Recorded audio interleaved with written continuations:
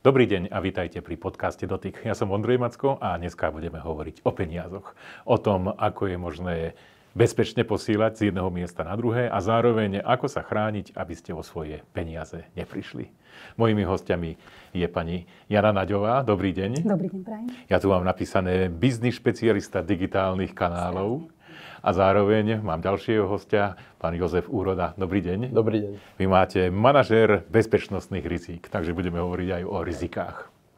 Začali sme tento podcast, ako sme sa bavili ešte predtým, ako sme začali nahrávať, samozrejme o tom, ako bezpečne posielať peniaze a ako rýchlo posielať peniaze. Na Slovensku už existuje služba okamžitej platby. Ja som to začal okamžite využívať. Ono sa to dá, v podstate nemusíte nič robiť a môžete začať používať, stačí, aby ste mali správnu banku vybranú. Tak ako, sa, ako, ako vlastne funguje taká okamžitá platba? Aké by ste nám mohli povedať? Okamžité platby sú dnes už integrované v rámci Európskeho regiónu, v rámci SEPA regiónu, kedy máte možnosť v rámci prevodu v mene euro využiť túto okamžitú platbu. V podstate najväčšie banky na Slovensku ponúkajú túto možnosť. Treba povedať, že nie sú to všetky banky, ale samozrejme ide o tie najväčšie banky. V rámci medziregiónov to nie je samozrejmosťou. Okamžitá platba do inej krajiny ešte stále dnes nie je samozrejmá, ale je to samozrejme otázku ďalšieho vývoja tejto služby. Dobre, takže to, na čo sa môžem spolahnúť, je, že keď si vyberiem správnu banku a je to prevod zo Slovenska na Slovensko, tak to bude okamžité. I hneď, v priebehu sekúnd. Nie, Doslova. takže do ďalšieho dňa, ale jednoducho i hneď, dá sa povedať. Pokiaľ je to platba v eurách, tak i hneď. Um, čítal som o tom, že aj pre ostatné banky to bude povinné. Že je na to taký trend, aby všetci to vlastne zaviedli, aby sme nemuseli čakať do ďalšieho dňa. Ono to aj niečo muselo stáť. E, bolo treba asi upraviť celý ten e, kolobeh tých peňazí a celkom asi zadarmo to nebolo. Je to, je to dobrá služba? Oceňujú to ľudia? Určite áno. Jednak v rámci prevodov fyzických osôb, jednak v rámci prevodov medzi firmami. Je to pre ne veľmi dôležité mať peniaze čo najskôr na účte. V rámci vývoja platieb očakávame v priebehu pár rokov, že banky budú musieť integrovať v podstate tie okamžité platby v tej širšej miere, to znamená aj cezhraničný prevod v rámci eura. A samozrejme aj ostatné banky na Slovensku sa budú musieť prispôsobiť tomuto trendu. Dá sa povedať, že teda úplne vymizne niečo také, že aj keď budem do zahraničia posielať peniaze, minimálne v rámci Európskej únie, tak to bude i hneď e, prevedené? Veríme tomu, že áno. Netrúfam si úplne povedať ten trend v rámci cezhraničného platobného styku, ale ten trend tam samozrejme smeruje. Tatra banka teraz zaviedla novú službu, ktorá sa volá Card to Card. Keby ste mohla povedať, teda, čo, čo to vlastne táto služba obsahuje? Platba kartou už dnes nie je ničím novým a tiež ani platba z karty na kartu nie je vo svete ani v Európe ničím novým. Kto používa PayPal aplikáciu alebo Revolut aplikáciu, bežne posiela svojim priateľom alebo deťom študujúcim v zahraničí e, prostriedky na kartu.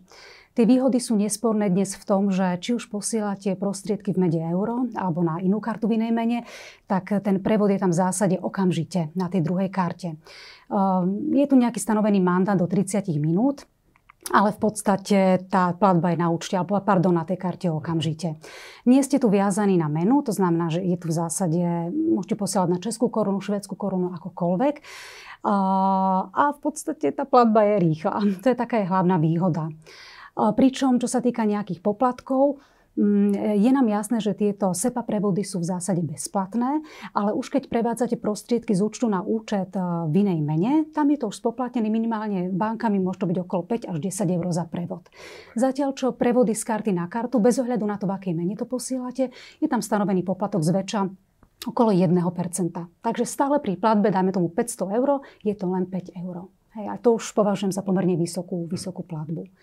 Jozef, eh, hneď som začal rozmýšľať nad tým, že tam bude potrebné zrejme poznať eh, základné informácie o tej karte, že budem musieť niekam poskytnúť eh, svoje údaje, ako je to treba v rámci expirácie karty a ďalších vecí.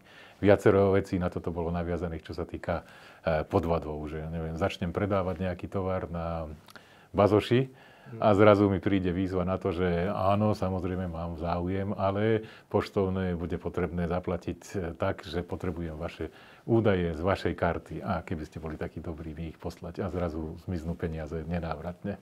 Ako je to v prípade tejto novej služby? Ako, ako vo všeobecnosti platiť bezpečne? Tak ako ste správne poznamenali, je úplne prirodzené, že ak prechádzame s niektorými službami, ktoré sme väčšinou vykonávali v našich životoch vo fyzickom svete, prechádzame do digitálna, tak tá zmena prostredia nám prináša aj nové rizika, ktoré zase nesie to digitálne prostredie a to fyzické nenieslo. A taká najväčšia zmena je, že v tom fyzickom svete, keď s niekým komunikujeme, tak väčšinou vidíme, kto to je a máme takú väčšiu dôveru. A neuvedomujeme si, že s prechodom do digitálneho prostredia tá druhá strana nemáme tú istotu a nemáme tu úplne, alebo nemôžeme mať tú dôveru, kto je na tej druhej strane. Preto je si dobré uvedomiť, že s akým účelom a, a, z, a ako sme boli dovedení k vykonaní tej akcie. A preto je dôležité si aj pri tejto službe, aj pri iných službách všímať, že či na, ako ste popísali pri tých bazároch, napríklad, že nás niekto dotlačí a pošle link, že tu zadajte tie informácie, alebo naopak ja sa rozhodnem, že chcem vykonať túto službu, sám pristúpim na túto stránku a sám tam zadám údaje. Čiže je to skôr o naučenie tých takých hm, tých prípadov, ako sa správať, keď chcem niektoré aktivity vykonať. A, a toto je dôležité si zapamätať a nebyť naopak zmanipulovaný a dotlačený do nejakých takýchto úkonov. A potom presne platí to, že, že, že vedieť, na čo, niek- na čo jednotlivé údaje slúžia. A práve pri tejto službe, eh, ak chcem niekomu poslať peniaze, tak, zadá, tak potrebujem vlastne len to číslo karty, nie aj expiráciu a CV kód. A toto je dobre si zapamätať. Čiže pristúpiť sám na tú stránku, a zadať tam len tie, tú, to číslo karty, ktoré, na ktoré chcem poslať peniaze. Rozumiem. To znamená, že je podstatné, aby som neprezrádzal veci, ktoré nepotrebuje tá protistrana vedieť. To znamená e, doba expirácie a hlavne nie je ten security code z druhej strany karty. Tak, tak. V podstate ono je to veľakrát, že Prečo sú nebezpečné tieto útoky? Pretože sú silné, využívajú manipulatívne techniky. Celé to spadá pod to sociálne inžinierstvo, kde cieľom toho útočníka je vlastne oklamať tú obeď, aby konala aktivitu, čo chce ten útočník. A, a práve v týchto prípadoch, eh, kedy dochádza k týmto podvodom, je ten útočník zmanipuluje tú obeď, pretože vyvolá v nej nejakú emóciu. Môže to byť pozitívne emócie ako ako super investícia, výhra alebo nejaká súťaž alebo podobne, na ktorú musí samozrejme reagovať v, tento, v tomto rýchlom momente, lebo už to potom vyprší, čiže snaží sa dostať pod tlak. A, alebo sú to naopak negatívne, že sa cíti v ohrození, cíti sa tá obeď, že môže prísť o svoje peniaze, že niečo nie je v poriadku a táto osoba mi práve chce rýchlo pomôcť teraz hneď. A práve vyvolaním týchto emócií nejako vypíname to rácio, čo v hlave máme a dochádza k týmto podvodom. Čiže zapamätať si, že na čo to chcem využiť a že to využívam z vlastnej vôle. Janka, aký údaj vlastne mám teda reálne poskytnúť? Ako funguje tá platba kartu kár? Čo, čo ja môžem a čo by som nemal robiť? V prvom rade vždy ísť len cez oficiálnu stránku Tatra banky. Nereagovať na žiadny link, už vôbec nie od neznámej osoby, na žiadnu SMS. Treba naozaj navštíviť oficiálnu stránku Tatra banky kde v časti uh, personal, teda fyzické osoby, uh, platby a účty nájdete už priamo tento formulár kartu kart. Keď formulár otvoríte, zadávate tam údaj o svojej karte. Tak ako na bežnom e-shope, aj tu musíte zadávať číslo karty, expiráciu karty a CV kód. Ten formulár je v chránenom prostredí, je to formulár vyvinutý v spolupráci s našou Raiffeisen Bank eh, International, ako našou matkou. A eh, čo sa týka protistrany, zadávate číslo karty toho príjemcu. Nič viac. Číslo karty. Takže čísla karty samozrejme treba zadať v rámci tejto služby. Každopádne zase opakujem, je to formulár, ktorý je len na našej stránke. V žiadnom prípade nenavštevovať žiadne iné zdroje a nereagovať na žiadne linky. Takže pozrieť si, že naozaj Tatra banka SK, je to tam naozaj nie skovolené, že Tatla banka alebo niečo podobné aby, to, aby si ľudia uvedomili, že to je najdôležitejšie, že na ktorej platforme reálne som, lebo to môže byť niečo sfalšovaného. Presne tak, áno. Takže naozaj treba aktívne navštíviť iba našu oficiálnu stránku. To je úplne základné odporúčanie. Potom by som ešte rada povedala, že ide o štandardnú e-commerceovú transakciu. To znamená, že sa viaže na štandardné limity pre daný prevod. Takže si treba aj skontrolovať v mobilnej aplikácii, prípadne cez Dialog Live, aké mám prevody na tej, pardon, limity na tej karte. A čo sme ešte tu zaviedli v rámci bezpečnosti, neumožníme vám urobiť, e, ten limit je viazaný nie na číslo karty, ale na vás ako osobu.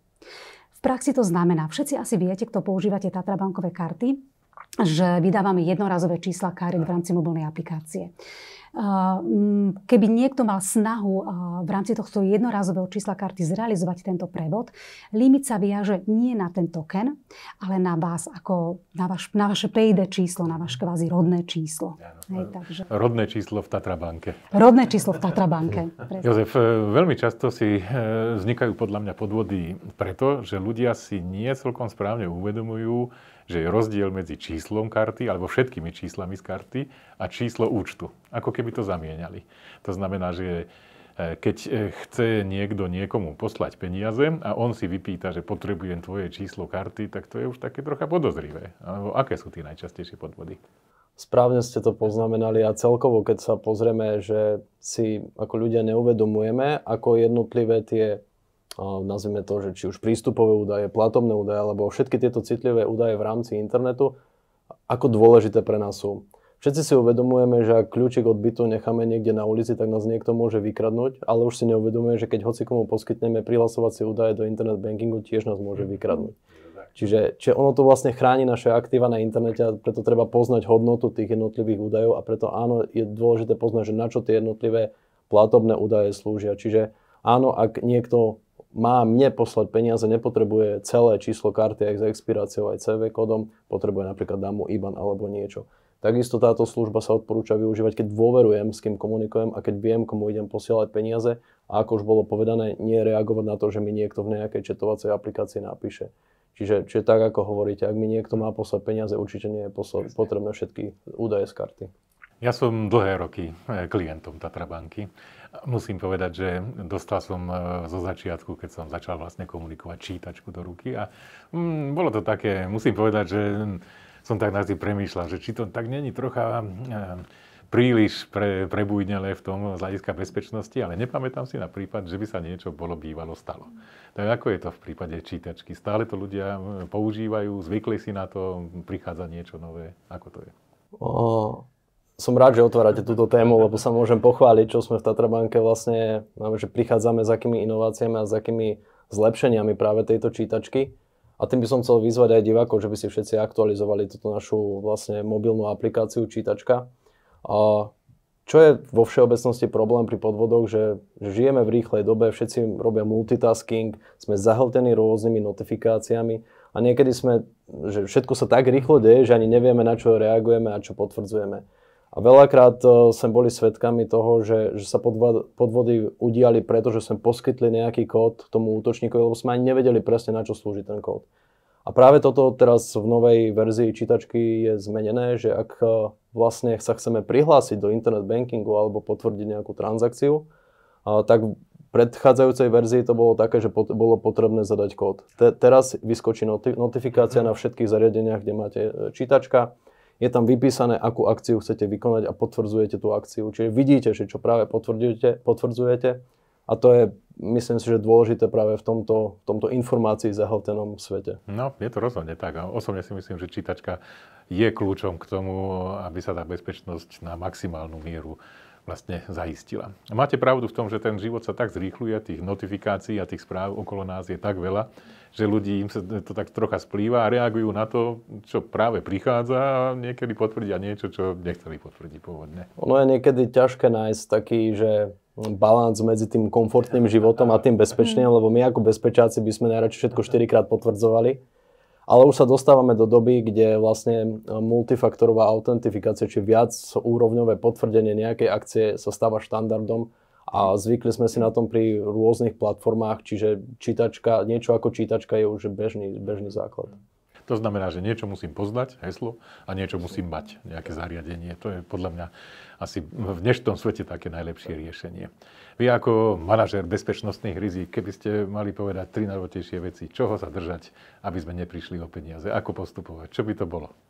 Jedno som už spomenul a to je, že poznať, na čo slúžia jednotlivé údaje, vedieť, čo na čo mm, využívam, kedy potrebujem zadať prihlasovacie údaje, kedy si potrebujem kartu aktivovať na Google Pay, Apple Pay, vedieť zhruba, ako tieto niektoré prípady, ktoré ja vo svojom živote využívam, fungujú.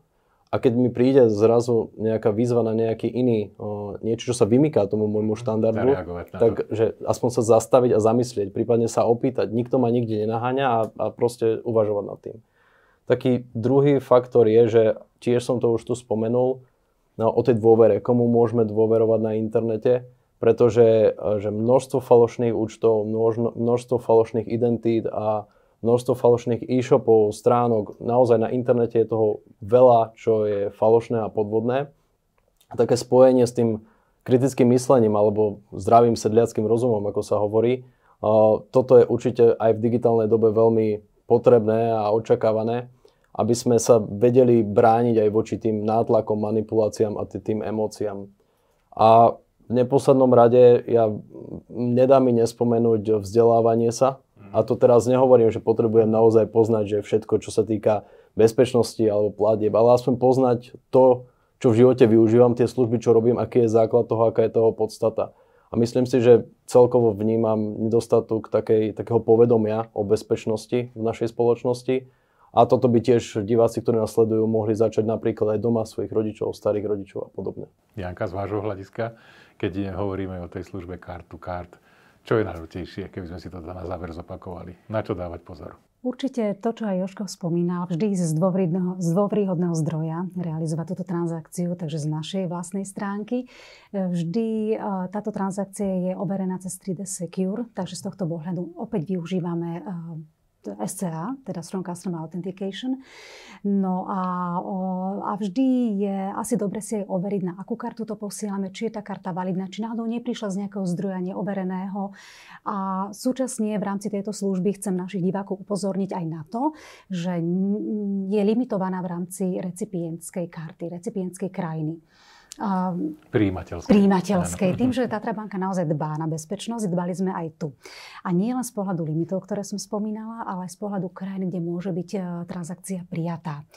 Kartu kart môžete využiť na karty, ktoré sú vydané e, v EHP a v Európskej únii Súčasne je vlastne v, karta, v krajinách, kde má naša banková skupina svoje zastúpenie.